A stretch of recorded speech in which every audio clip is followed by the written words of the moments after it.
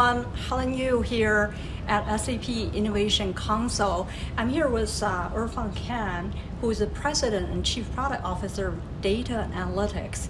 We're going to talk a little bit more about data, the AI, the applications, and uh, the trifactor. So, uh, Irfan, so nice to see you here. Pleasure to be here, Helen.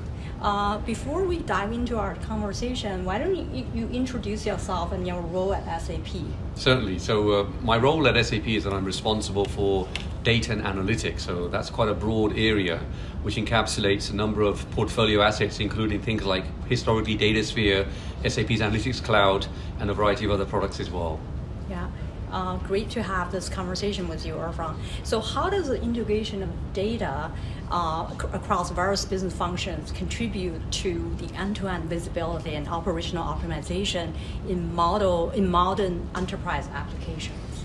Yeah, look, I mean, that's a, that's a statement which is a, a, very factual statement. That that's the end goal that most customers want to achieve. But in reality, we see anything but that. We see huge levels of siloed data which sit in their own defined environments. And typically, customers spend a ex- considerable amount of their IT budgets on trying to just reconcile and get the right quality and the governance, and then pick maybe a, a landing point for that data and start building these data lakes. So I would say that it's almost the crusade of many customers to try to build that one almost uh, significant running environment, data platform running environment, where, as we know, most customers will never get to that one single consolidated version. I can definitely relate to that, having started my career as a financial analyst. But I like you to do a level set, right? There has been a lot of confusion about what it is, what really data is, and then when we talk about data product and data model, what are the difference between the two? Mm. Yeah, I mean, firstly, I mean, data could be regarded as being, you know, high value data. And I'll give you an analogy. If it was uh, gasoline in a, in a vehicle, you have regular grade, you have mid grade, and you have premium. And I would argue and say SAP data is definitely premium because it is effectively representative of the majority of your most critical business processes. So the way we treat data today has to be proportional to the value of the data. And we can use a variety of different sort of commodity storage foundations to be able to manage the, let's call it the economy grade of the data. But when it comes to the high value data, we want to be able to blend that data in a very, very short period of time and ensure that customers can actually have the breadth of all the different use cases that they want to run across all the data that they own not just the premium data. Mm-hmm. That's a great uh, definition. Thank you. So one thing I learned today from the session is that SAP now can bring non-SAP data into the mix. That's very exciting to me. So, in what ways does unification of SAP and third-party data enhance decision-making process, strategic planning, or AI in AI-driven enterprise platform? Hmm. Yeah, so absolutely right. So you, we're very, very excited to have the SAP Business Data Cloud launch, and this has, as you described it, a means to being able to unify all data, not just SAP data. So firstly, we have the let's call it the building block of, of interoperability at, at data level is going to be data products. SAP has been a big proponent. The industry at large, those who are serious about data, have already started building large amounts of data platforms around data product kind of currency in terms of what Business Data Cloud does, it gives us a full spectrum of new services which have a business framework around business fabrics. It also has, at the same time, integration now with SAP Databricks. So this really brings non-SAP data at a very significant level and then fabricing out to all the other non-SAP data sets, but having a unification under one single environment called Business Data Cloud. So build pipelines, semantically onboard data, and have that single value data going across the entire spectrum of all the different use cases that you want to run. That's uh, fantastic, right? And two, that's actually, there are two differentiators I see with SAP. Number one is a deep understanding of processes, mm-hmm. uh, business processes. Two is the semantic uh, connected data layer. So congrats on making both happen. Uh, how do pre-built data models and industry-specific workflows in enterprise uh, applications leverage data to address global compliance challenges and accelerate accelerate problem solving. Yeah, so I mean, historically, what would happen is there'd be a lot of oversight. So typically, you'd end up with a lot of operational overhead managing the estate, and those who are kind of more or less digitally native, implying that they've spent a lot more investment in their data strategies, we, we actually wrote a report very recently, okay, right? That was the culmination of interviewing 1,200 plus respondents across different varieties of different businesses. Those are in the sort of business domain, those are in the IT domain, and making it really clear in terms of where is the most significant cost that they have to bear. And this report in itself pointed out that only 34% of the customers out there, out of the 1,200 that we interviewed, actually have a trust in their data. And the reason for that is, is because they may not have strong control of the governance or the privacy, or for that matter, even the quality of the data. So the Business Data Cloud is really solving a very specific set of key business challenges. Most customers want to have a very strong value of data, and they want to be able to promote that data for forecasting, for predictive type purposes, building those new AI use cases, so that the benefit of having a strong data strategy means that you can actually enable all of those different use cases to be accomplished here. I could not have agreed more with you. As a matter of fact, I thought the percentage would be much lower than 34%. So good to learn that 34% of people. But you know, you mentioned a little bit about semantic rich business data earlier, right? How does that play in fueling AI powered insights and uh, also actionable recommendations in enterprise applications? Yeah, I mean, if you take raw data and you apply it to a model, then it's no context there, right? The data in itself has to have context.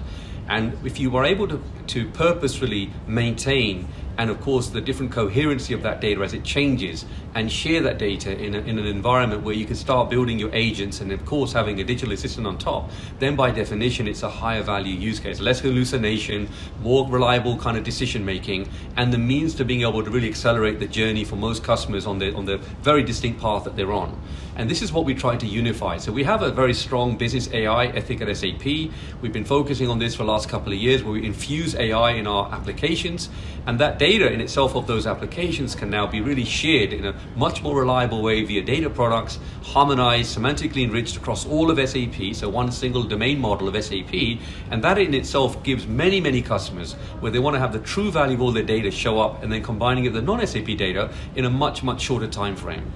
You know, speaking of AI agents, can you give the audience an example of AI agent, let's say in the finance process? Yeah, so if you think about an agent in itself, it has to have the, the means of reasoning. So if it was a best offer for execution, of course, there's a lot of regulations that have come about. If you look at MIFID, if you take a look at even Sarbanes-Oxley, there's a whole host of different initiatives that have come along. And they make the data become more reliable. But the fact is, it's static data. And in order for you to really fuel the new agent sort of based approach where you want to have more the reasoning, the analytical reasoning, you need to keep that constant flow of data where you can train the models and being able to integrate between different agents that may have a specific role in a particular type of process and then linking them together in more of a kind of an agnostic way where you're not tied to one single use case. You have more ubiquity to user data in a variety of different use cases. You can't do that unless you have fully harmonized semantically rich data. And then doing so where you don't have to have the constant overhead of having to maintain the data pipelines. Now, this is one of the reasons why we're super excited about having the business data cloud because it will actually increase dramatically the time to value and the time to market of those new use cases. Absolutely. How does the concept of a single trusted source of data in enterprise applications facilitate the deployment of AI across various business functions? Mm. I mean, I, I would argue and say that if you can achieve that goal, and that ultimately is a, the North Star that most customers will have, then you're in a position where you are able to really narrow the scope of the decision making, right, that has to go on before you get to that data. What do I mean by that is there's a lot of heavy lifting, a lot of coordination, a lot of teams, a lot of colleagues that have to typically work in a seamless way to land the data with that high octane value that I described earlier on if you're actually able to do that in an institutionalized way, and most customers aspire to get to that point, then the rapidness of, of how you actually are able to use the data for agents or for different, even analytics or even planning models that you want to build on top becomes much more of a self-serving virtuous circle on top of that. Mm-hmm. You, you know, we talked a little bit about data preparation earlier, right? You know, you're able to improve efficiency.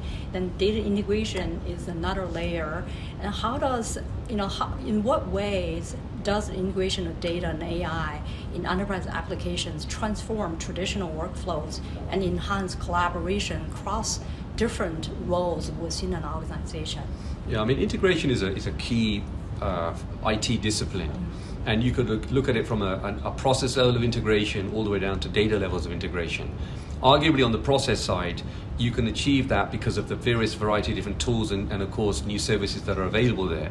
But data is a, is a very substantial part of, of the most organizations' uh, existing legacy environments. And linking data is not trivial, particularly if you don't have a canonical model, you don't have a means of being able to identify how to link and, of course, integrate data together. You've got to come up with some means of being able to fulfill that. And one of the things that, one of the difficult problems that we were solving for for our customers is how do we build that one single harmonization layer that brings SAP and non SAP data together? And having the means of being able to expose that in a simplified way. And we've done certain things like having something called ORD, which is our Open Resource Discovery. We open source this standard, this metadata standard for being able to describe what data products are, how to be able to discover those data products in a catalog, and then being able to bi-directly share the data that is a culmination of SAP and non-SAP data, right? So there's a whole host of different things that go on in the integration realms, and some of the work that we've been doing over the last year, culminating in this new delivery called the Business Data Cloud. We're super excited that this is going to dramatically help and accelerate customers' productivity. Yeah, I'm really impressed with the fact that you're going to start with business process, right? And you have a discovery process to walk through the customer. And then there's rise and grow. Can you elaborate the difference between the two from data perspective? Yeah, I mean, rise and grow are two essentially go to markets that give a means of being able to do a deployment by either taking an existing uh, brownfield customer environment where in Rise we take on more of a hosting stroke cloud sort of economic value, TCO benefits, etc., etc., with transformation abilities on top. And now with the Business Data Cloud, we can allow you to start building the business data layer directly on top of that, harmonized from the existing data that's stored within your RISE systems. And with Grow, this is really more of a greenfield, even mid-market opportunity where you can start even from a greenfield perspective. And the benefit of the SAP journey is it doesn't matter what point you are on the journey, whether you're starting off from on-premise, shifting to Rise, or you're going completely greenfield within, within Grow, the interoperability is maintained now because of the harmonization of the business data cloud. So it doesn't penalize any customer at whatever journey point that they may be on. And BDC or Business Data Cloud is really the key ingredient that was probably missing in the past. And from an SAP perspective, why we've been so invested in making this happen for our customers. Well, thank you, Irfan. I can talk to you for another hour, but let's wrap it up with the trifecta data, right, AI applications. How is that, those trifactor? How are these trifactors reshaping business models and competitive landscape in the next decade? Yeah, so you said it perfectly, right? So the trifactor is that you end up with these very critical, mission critical business applications which generate data, and that data informs your AI. And if we take a fast forward look, maybe a year from now, three years from now, five years from now, the companies out there that will be successful are the ones that have harnessed the power of the underlying data, using it in a strategic, mission critical fashion, and the AI will be able to then inform, not just because you want to re- take out redundancy, because that's a given. What you want to do is to have actually the next vantage point in terms of your ability to be able to disrupt your particular sector that you may be in. Financial services, you take a look back over the decades, there's always been one outlier, there's always been one company that leads the way, and then others follow with the means of what we're providing with this trifactor now, we're pretty much leveling the playing field. You don't have to have a huge investment in IT or historical legacy in IT, but you can actually accelerate and achieve far more in a shorter time period. And this is by tribute to, of course, focusing on the right topics. Well, I heard six to eight weeks you can have the system up and running. Is that real? Yeah, I mean, it depends on the size and scale of the system, but I mean, that, that wouldn't be a bad estimate, depending upon, of course, what the customer's level of, of willingness is, right? Because, of course, you have to be a bit of a disruptor against the grain of your traditional IT, breaking those very almost uh, seasoned environments, right? All these data pipelines and ETL most customers have these huge elaborate data tools tool chains that they've invested in and this does think for people to go outside of the comfort zone in the box that they're in and actually experiment more and actually start embracing and this is why i would highly recommend people to take a look at our new sap business data cloud because it expends the value of sap data and non-sap data in a single environment well, thank you so much, Irfan. And I learned quite a few new things from you today. And I'm sure our audience will be excited about learning more and hopefully uh, they can see you or interact with you in a in a different capacity someday. But uh, thank you so much, and then we'll talk to you later. Okay. Perfect. Thank you so much. Thank you.